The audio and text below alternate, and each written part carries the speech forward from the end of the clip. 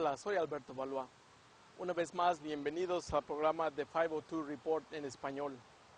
Tras una larga espera, el primero de julio comenzó la construcción de este proyecto, lo cual podría afectar a muchos al desplazarse por la ciudad.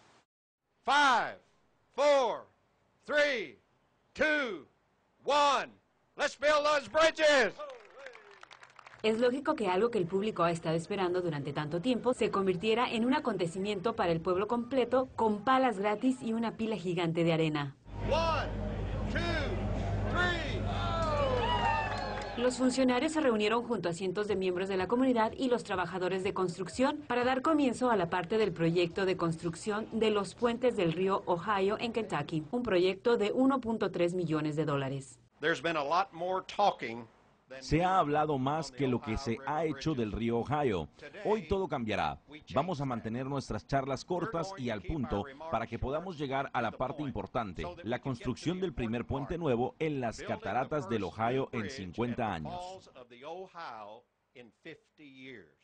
Aunque el proyecto ha experimentado obstáculos en su trayecto de 40 años, los líderes están mirando hacia el futuro, optimistas por todos los trabajos que el proyecto traerá a la zona. This is a major freight hub. We know that. It's Este es un centro de carga importante, lo sabemos. Esto nos va a ayudar a avanzar el comercio en todo el país y además la calidad de vida de los residentes mejorará mucho más. We will open new lines of transportation that will make our community even more enticing. Hemos abierto nuevas líneas de transporte que harán de nuestra comunidad aún más atractivo para los empleadores que buscan reubicarse o expandirse. Y vamos a destacar que debido a nuestro compromiso con la innovación, Louisville es un lugar para crecer. Los habitantes del suroeste de Louisville han estado en espera, aunque no por tanto tiempo, para que se iniciara este otro proyecto. No obstante, sí tardó varios años para reunir el capital necesario. One, two, three. Cientos se reunieron en el inicio a la expansión de la Biblioteca Regional del Suroeste, la más grande en el sistema en años. Una expresión que vive y respira permanente del compromiso de esta comunidad con el aprendizaje y la alfabetización en el futuro. La biblioteca que estamos por construir será espectacular. Los 40 mil metros cuadrados y 13 millones de dólares que costará la expansión de la biblioteca regional abarcará 4 hectáreas en Dixie Highway cerca de Valley High School. Se espera que sirva a 100 mil residentes y contará con lo más innovador en tecnología, un autoservicio, además de estar construido de manera eficiente y con certificado LED. Estamos construyendo nuevas oportunidades. Miro y veo a mi abuelo abrazando a mi hija menor. Cuando hablamos de todas las generaciones, creo que ambos están igual de emocionados de tener una nueva biblioteca aquí. Pero, ¿por qué necesitamos bibliotecas más grandes cuando la tecnología está tan avanzada y juega un papel tan importante en nuestras vidas cotidianas? It's going to be a lot more than the library. It's gonna be Va a ser mucho más que una biblioteca. Va a ser un centro de la comunidad vibrante, un lugar de encuentro para toda la ciudad, pero especialmente para PRP y Valley Station. Será uno de nuestros centros de aprendizaje permanente, así que si tienes uno o 100 años, vas a venir aquí y tener una gran experiencia del siglo XXI. La biblioteca está siendo financiada por el gobierno de Metro y la Fundación de la Biblioteca y se abrirá al público el año entrante.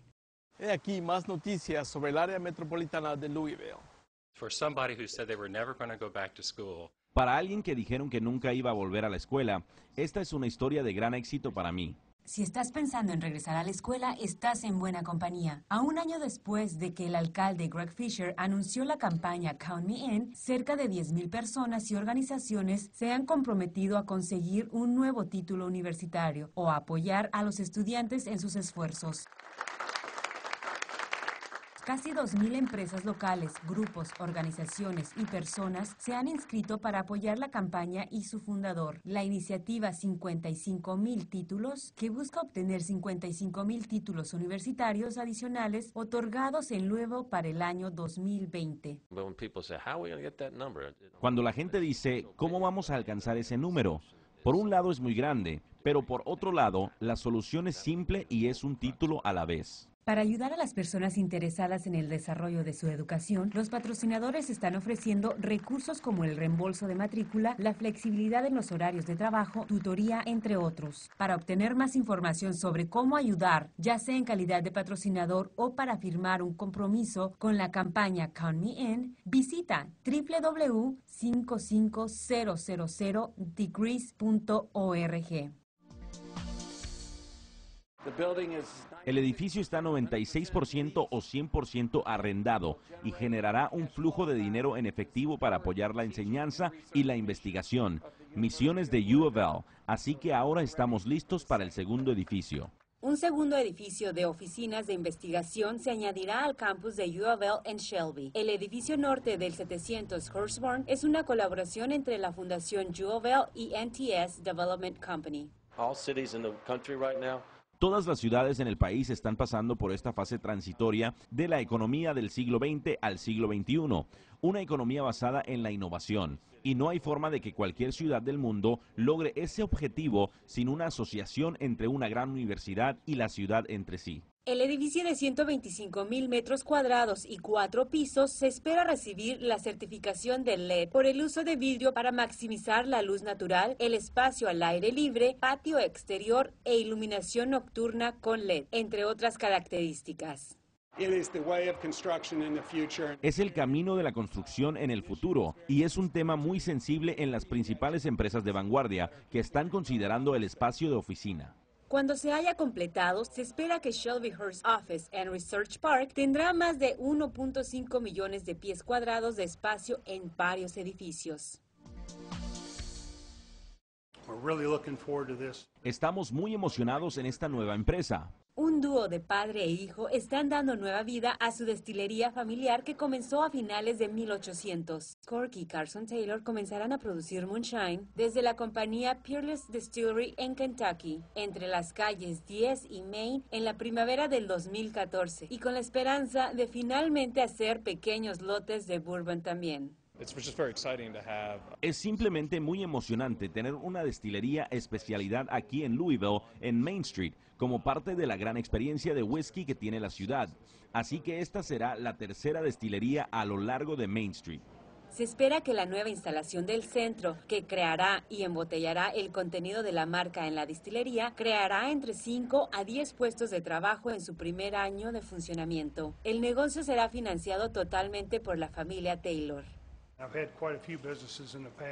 He tenido un buen número de negocios en el pasado y siempre me he preguntado en lo que va a pasar con nosotros un año, dos años o tres años. Esta es la primera vez que he visto un negocio a 50 o 100 años. Estamos Al igual que en las regiones más descuidadas del mundo, la asistencia sanitaria para las personas en el espacio puede ser un desafío. Tenemos que asegurarnos de que las personas que van al espacio se mantengan sanos y sean capaces de funcionar. Hay muchas cosas a tomar en cuenta, por ejemplo, el entorno de la microgravedad y la radiación espacial. Podemos superar esas cosas. Hay soluciones en vías de desarrollo, pero esas soluciones requieren pensar fuera de lo convencional. Es por eso que nuevos fondos financieros están disponibles para ayudar a desarrollar productos para satisfacer ese tipo de necesidades médicas. Pequeñas empresas estadounidenses en biotecnología y en los sectores de salud TI pueden calificar para subvenciones entre 10 mil a 200 mil si las empresas tienen una conexión con la aceleración de negocios. El tener este anuncio de convergencia de la NASA hoy con la propiedad intelectual que tenemos aquí en la ciudad, con el acelerador que se está moviendo adelante con núcleos, con U of L, hay mucho que se une aquí. Estamos muy contentos de dar a saber este anuncio a nivel nacional desde aquí. Para más información visita la página www.nsbri.org.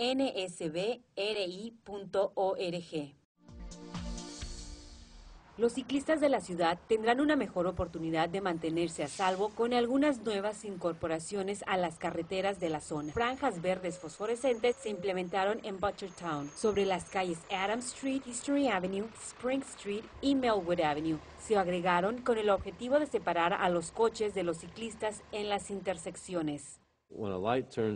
Cuando el semáforo se pone verde, entonces, obviamente, un ciclista ya está adelantado y puede seguir adelante, cruzar la intersección y pasar al lado derecho. Así que todo el mundo entiende exactamente lo que va a suceder con el flujo de los ciclistas y los coches.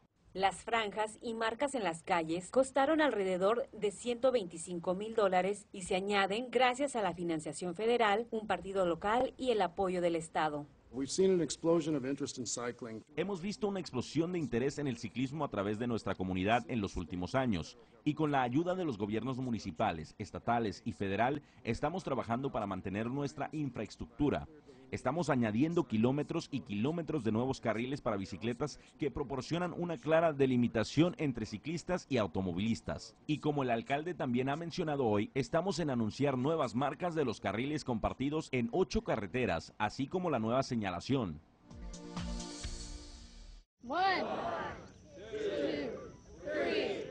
Millones de dólares en donaciones privadas han ayudado a financiar la cuarta y última fase de Parklands of Floyd's Fork, un proyecto de 35 millones de dólares. El sistema de parques de 40 mil acres en el este del condado de Jefferson pronto incluirá un recorrido panorámico, parte pavimentada del circuito de Louisville, cuatro puentes peatonales y el puente vehicular Schnatter.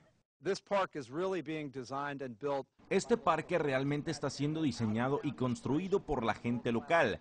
La inspiración de fuera trae las ideas de clase mundial en ella, pero de nuevo fusión de ambas es fundamental. Turkey Run Park y Brad Run Park también contarán con senderos e instalaciones para practicar ciclismo de montaña, todo esto financiado por John Snatter, quien es un ávido ciclista. Olmsted dijo que un parque debe ser una serie de despliegue de experiencias.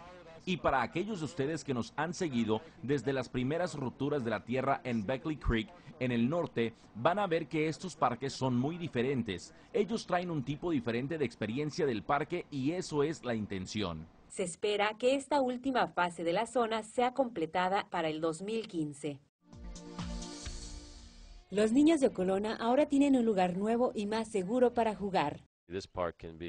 Este parque lo pueden disfrutar familias y niños de todas las edades, desde el área de juegos hasta las canchas de tenis o los campos de pelota. Se trata de salir y pasarla bien. El alcalde Greg Fisher, junto con los representantes del Consejo de Louisville Metro y Metro Parks, celebraron la finalización y apertura del proyecto de rehabilitación Parque Ocolona, después de dos años de construcción.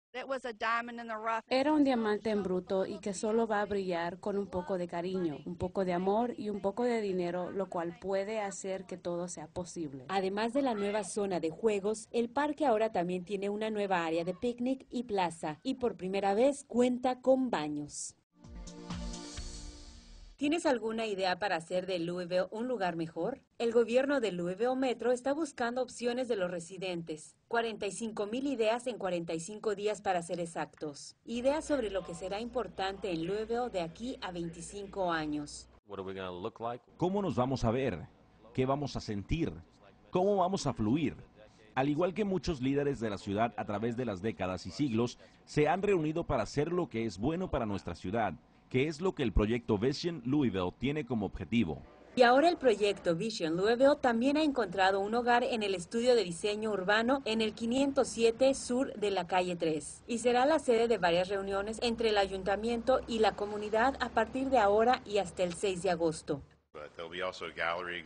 Habrá también la galería de exposiciones, solo una manera interactiva para que la gente venga y simplemente aprenda más acerca de su ciudad o nos digan acerca de su ciudad porque esa es la mejor manera que vamos a avanzar, si todos nos entendemos. Para obtener más información o para presentar tus ideas, visita la página www.visionlouisville.com.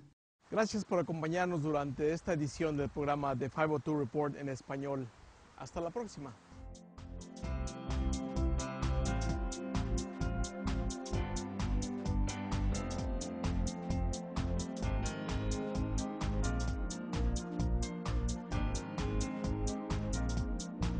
TV, a public service of Louisville Metro government.